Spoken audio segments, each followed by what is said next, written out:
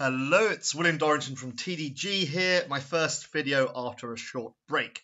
Now, whilst on my break, I thought of things that I would like to do uh, and, and, expand my knowledge on, and these include IoT and cognitive services. So today I'm showing you the latter of those two uh, wants, which is the cognitive service aspect.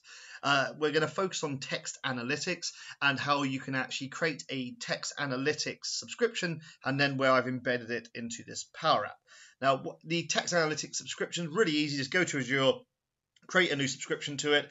Uh, nice and easy to set up. Just give it a name, to tell it what sort of licensing type, and it does the rest of the work for you. And then from there, you can get your endpoint uh, HTTPS, and you can also get your licensing keys, and then you just add it as a new data source within Power Apps.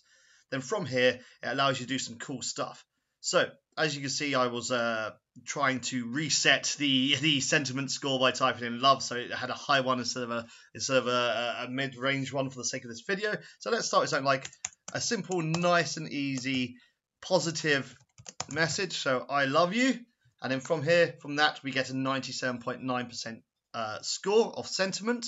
And then from this, which is you know which is good, that's high, it's positive. And then let's back it up to try and get some key phrases. So because you bring me food and I adore food.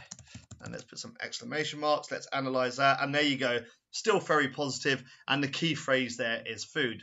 Now, if we start shaking this up a bit and go, I hate you, let's see what happens to that sentiment score. It's only 2.2% positive, and we can even back that up further because you never bring me food. So it's got up to 9.7%, but it's because we backed it up. But hey, it's saying key phrase here is food. The positivity, uh, the sentiment score is low, so there's something connected there. And what I've also done is created some settings so you can say what you wish to look for. You can look for language if you so want, key phrases or sentiments.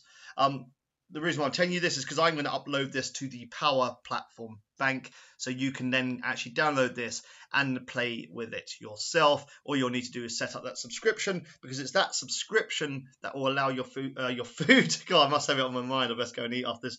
Your text to be analysed because it'll pass it through that machine learning service and uh, and, and and give you your results there's much, much more you can do with this, and the applications are endless. You can start looking at, you know, analyzing case uh, cases in CE, analyzing emails you may receive from customers if you're not sure whether they're positive or not. Uh, you can start using mental health applications for this. You can give them out to uh, people who, who, are feeling a bit down, so they can type in their sort of diarize their notes, and they can see what's going on, and you know, it might say, hey, it looks like you're not feeling that great today. Have you tried A, B, and C? So seriously, these are just uh, you know sort of bit of blue sky thinking there, but there is absolutely tons of applications, and the business applications to this is phenomenal.